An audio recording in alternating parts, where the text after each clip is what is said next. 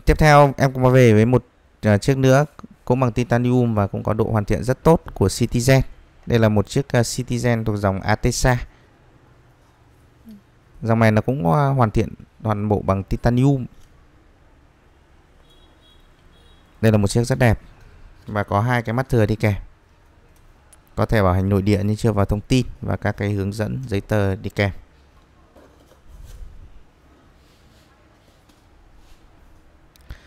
Dòng này nó cũng có lịch vạn niên các bác nhé. Tự động chuẩn đến năm 2099. Đây là một chiếc hàng siêu lướt 98-99% Chưa thấy có xước sát gì mấy Khung vỏ còn rất đẹp Đó. Có cái khóa thì có một hai vết xước lông mèo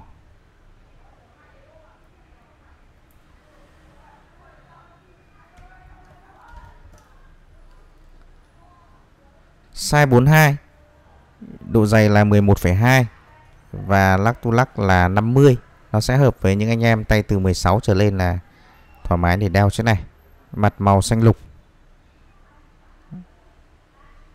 Sử dụng bộ máy của chiếc này là máy à, H8 H804 Và bên em đã có hướng dẫn sử dụng chi tiết chiếc này rồi.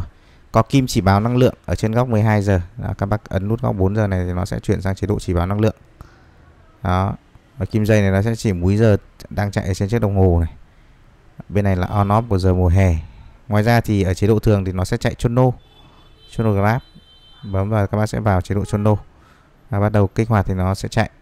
Bấm giờ thể thao. Có lịch ngày có lịch thứ. Đó. Có giờ mùa hè, giờ 24 tiếng. Và có lịch vạn niên tự động chuẩn đến năm 2099 như thế này thì các bác chỉ cần chỉnh một lần thôi tháng thiếu tháng đủ tự động à, nó nhảy qua.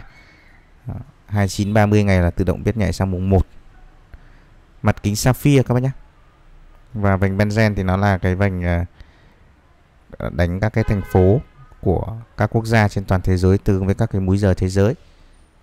Bên đông sẽ có ba cái núm chỉnh giờ và không có logo. Còn ở mặt sau thì siêu đáy nó vẫn còn. Có công nghệ Duratec này có chống nước 100m này. Đó, made in Japan máy H máy H800 thân thép không dỉ và pin EcoDrive kính sapphire đây các bác nhé. Cái siêu này thì rồi về các bác bóc ra. Đó. dây là dây titanium đúc đặc, khóa sẽ có logo của Citizen.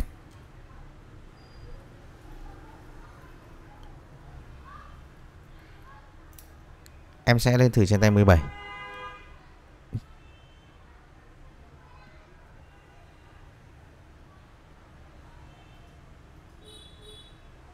đầy đủ lịch thứ, lịch ngày, kim báo năng lượng và lịch vạn niên.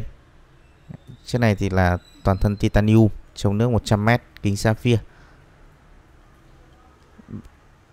Và đồng hồ quan lâm về chiếc này là 9 triệu 600 các bác nhé. Mã 7241 9 triệu 600.